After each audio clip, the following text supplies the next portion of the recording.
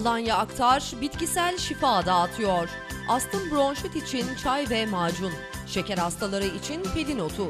Çocuklar için omega 3. Yorgunluk ve uykusuzluk için bitkisel kapsüller. Organik sabun ve şampuanlar.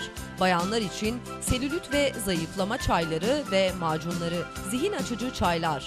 Migren ağrılarınıza, cinsel sorunlarınıza bitkisel çözümler. Alanya Aktar, İskele Caddesi Derman Eczanesi yanında. Telefon 513 06 00.